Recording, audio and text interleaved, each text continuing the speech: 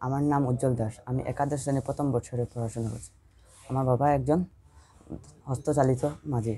ওনার, আমার ওনার ওনার ওনার আর্থিক অবস্থা বেশ ভালো না। আমাদের আর্থিক অবস্থা খুবই খারাপ। তাই আমাদের লেখাপড়া খরচ চালানো অসম্ভব বাবার পক্ষে। তাই আমাকে একটি আর্থিক সংস্থা সাহায্য করতেছে, যার নাম হচ্ছে সিরাক সিরাক সিরাকের দেওয়া, দেওয়ার টাকার পরিমাণ হচ্ছে এক হাজার টাকা। যা দিয়ে আমি আমার লেখাপড়া চালানো সম্ভব হচ্ছে। ধন্যবাদ সিরাককে যাতে ভবিষ্যতে আরও সাহায্য আমি কামনা করি।